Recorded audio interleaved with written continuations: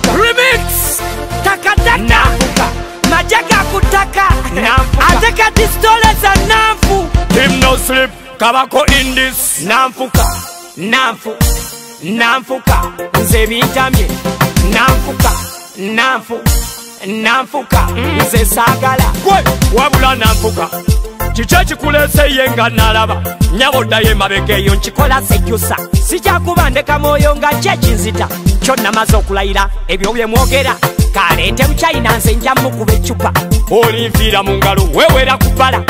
mbwera akabuba egyoli nteeka mu cupa ne bwonirijja ebwamba oŋonza omutima gwe ne laavu gy'olina ngiraba temuka ate ogimansa bulala hmm. wano omukwano gwe nali nkuwa okunaabankira yako na walala wabula sategera oli mwezi nnyo omukazi wange nafuka nkulayiridde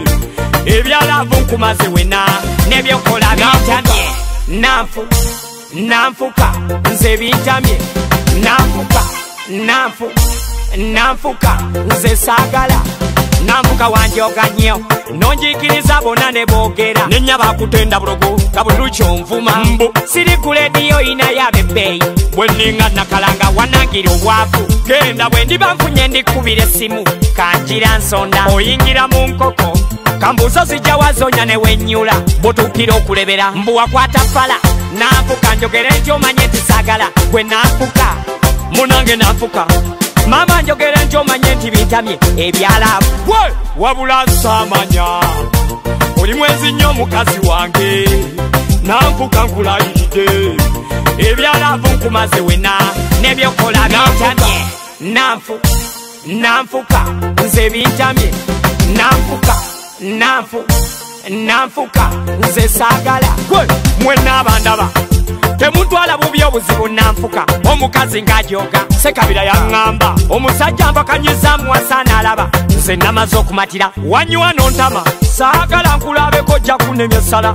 emmeme zibuka okumanya saagala bwe nkulaba nzijukira lewasule wawizo nerabwe bejja kitono walinga tondaba sonagamba kusigula buli kya newejjusa nga ninga omulaguzi ng'owaana bacaga nze atali gule yo chonzimbye mbuto nojondiso mudagala wabula satekera